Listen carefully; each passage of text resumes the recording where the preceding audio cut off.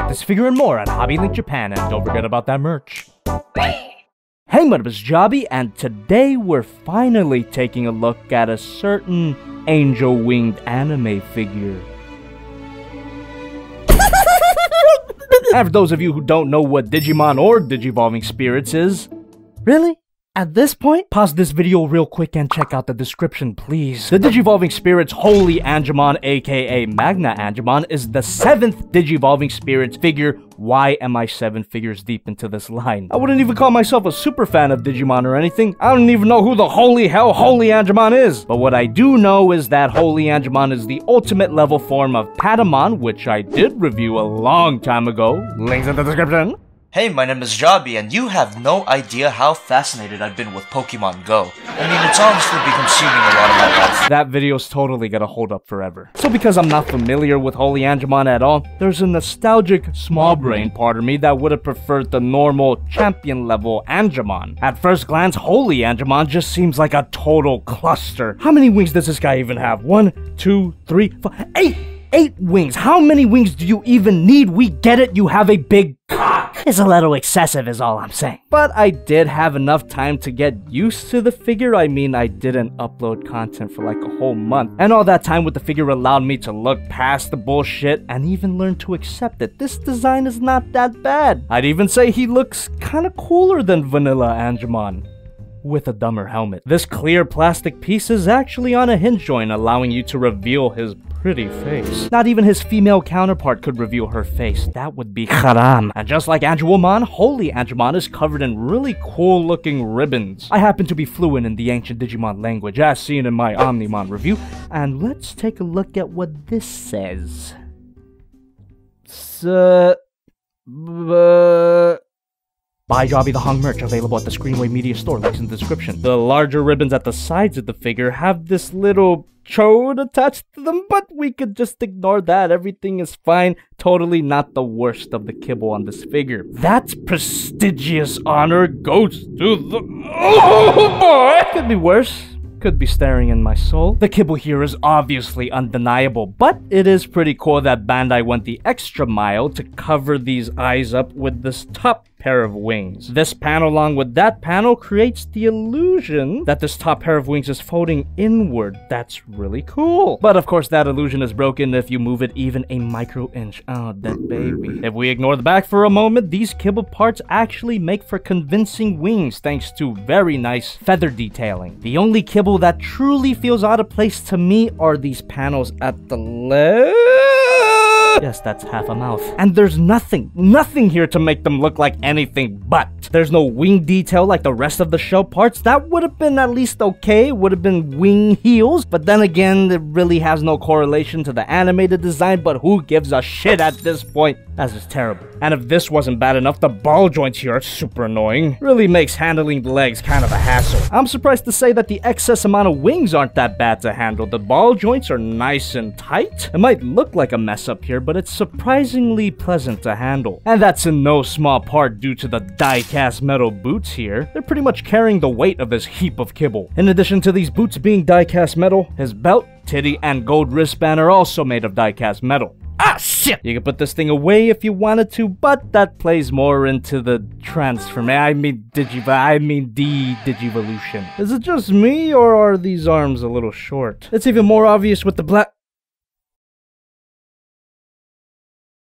Uh, everybody, let me introduce you to a piece of bullshit, aka elbow cap. This thing pops off too damn easily. I hate it! You might be better off supergluing this thing into place. As for accessories, you only get this clear purple block. And if we lift up this back pair of wings, get a look at his bum bum, you can take that purple block and fiddle it and in there. There it is. And that's gonna let you plug him into any stand of your choice. In this case, I'm using, of course, Let's see if it works. Oh, oh, oh yes. Looks fine. But of course, he will look even better if we posed him a little bit. Ball joint. Oh shit, this came off easier than expected. He can look left and right, somewhat up and down into his chest. He's got a ball joint at his ponytail, but it's kind of hard to access due to what crap. There it is. And since we're here, hinge joint, ball joint here, hinge joint here, another hinge, and there's a hinge joint here and a hinge joint here. Gives you that nice inward curve. Ball joint at the shoulder. This clear purple shoulder guard is also on a ball joint. Some forward movement. Arm kind of moves out. The shoulder guard kind of gets in the way. That's about it. Somewhat of a bicep rotation. Double bend at the elbow. Bullshit. Ball joint at the wrist. I Allows for a 360 rotation. The watch can rotate. And I already showed you the sword. Ball joint at the chest. Can rotate somewhat, but those ribbons do limit it. Ball joint at the waist as well. And before we get into his hips, let's turn this figure around and take a look at the ball joint at this wing. Rotate a little. Hinge joint here. Hinge joint here. And a ball joint at this wing. Ball joint at this big ribbon. Hinge joint here. Ball joint at the hips. Allows for a kick. That knee bent inward too far. More for the transformation. Can move back fairly far until the wings get in the way. There's a hinge joint inside there that allows the leg to shift a little bit. And if we have both of the hips lowered, you get a really good spread. Thigh rotation. Double bend at the knee. Ball joint at the ankle. Allows for some rotation. Up and down. And an extra hinge joint allows it to move up even further. Hinge joint here. Shitty ball joint. And if you can see that, that's a pivot. Posability on this guy is pretty good, but the wings admittedly do get in the way. I think it would have been an improvement if this guy had removable wings like Angelomon. That would make the posability easier and give us a better look at his ass. Since the wings are a permanent fixture, this guy feels and looks a lot bigger than he is. Here's Digivolving Spirits War Greymon, Metal Garurumon, Diaboromon, Angelomon, Alphamon, Mega Kabuterimon, Madaka Godzilla Prime, and the original Digivolving Angemon. As expected from figures of the same line, these guys look complete together, but I'm too much of a lazy bitch to frame them all in one video. So, just like the original figure, this guy devolves into an orange flying moe blob. So switch on that royalty free jazz and I'ma walk you through the transformation. Audibly. First thing I like to do is fold up these arms. Elbow cap popped off again. Who gives a shit? I'm just gonna put it off to the side before I murder. This guy's actually got a pretty similar transformation to the original Angemon figure, just with a lot more shell. We'll get to that later. Retract the sword, fold up the wings, and by now he should look like he's about to punch you. Moving to the legs, you want to make sure that both of his feet are pointing down. Flip out the knee pad, bend the leg all the way till the feet are reaching his face. We'll get these panels of kibble into position, and this is where we can fold out the front legs. We'll leave them there for now, but now let's get into the shit. These two wings are actually connected, so you want to bend them and connect them. Same with the other side, and you could kind of see where this is going. I'll just take care of these eye panels right now, might fuck me up later. Eh. Folding these ribbons, might have wanted to do that earlier. Oh boy. Flip that out, twist that all the way around, and now we have half a butt. Extend this part, bam. Now we can attach what was formerly the two ribbons. And look what we got. Cute little tail. And now we are in position to close this up. Fold the wing in. Swing this big old thing all the way until... Snap, uh, snap. And again for this panel. Snap, uh, and now, we can attach these two pieces together. It looks like he's screaming in agony. Ah, let's shut him up. Uh, oh, no, that happens sometimes, but all you gotta do is push and...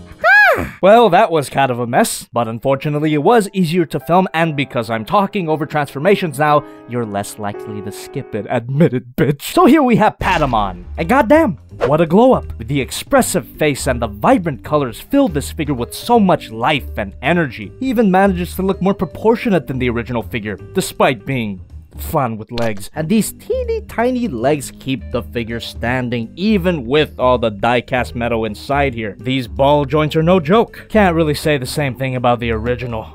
This guy isn't bad by any means, but this new one just murders this guy and his entire family. They're buried in the backyard.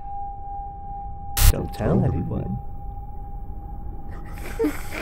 With all the praise on the table, I should say this guy isn't perfect, far from it. Definitely not as proportionate or well put together as the Digivolving Spirits Tentomon. This guy's the standard for Digivolving cute modes. Kibble here. Somehow the original belly looks better. But what the original can't even come close to is the ear posability. Do you hear that? The ball joints are Ooh, satisfyingly tight. Not so much here. Unfortunately, even with the previously mentioned stand adapter, there's really no way to display this guy in the air. He doesn't have any kind of port here. As for the posability, I pretty much covered it all. What were you expecting from something as basic as this? So we can just pull out the trusty ruler and move on to the size comparisons. Here's Agumon, Gabumon, Keramon, Gatomon, Dorumon, Monica Godzilla Prime, and the original Digivolving Patamon. As good as this guy looks, he is hilariously oversized. As I give you selected Patamon and activated some spirits. Leave a like if you get that joke. Ooh. Overall, this figure is amazing. Look, I know what you're thinking. How could I possibly give this guy a double kiss even with all of the flaws that I pointed out? Well, seeing as this is one of the few lines that I'm actually collecting all of them, I feel that the Digivolving Spirits line requires its own scale. All of these guys have similar flaws. Kibbletopia, lack of posability, and not always the best proportions. Looking at them by themselves compared to each other instead of comparing them to other figures that I might like even more, this guy is double kiss worthy. But on my normal scale, a single kiss of course, maybe even bordering on a hug. This guy just has a lot of problems. Ah, but is it really okay if I'm giving mediocrity some kind of pass? Who gives a shit? I'm Link Japan! If you're collecting these Digivolving Spirits along with me and you've gotten this far, why the hell not? Thank you so much for watching, leave a like, give me a comment, let me know what you think, and subscribe for maybe more Digivolving Spirits reviews? You know, the next figure in the line after this guy is a repaint. And because I don't really like talking about repaints on this channel, that would require creativity on my part, Black War Greymon might be the first one that I skip. I swear it's not because he's black.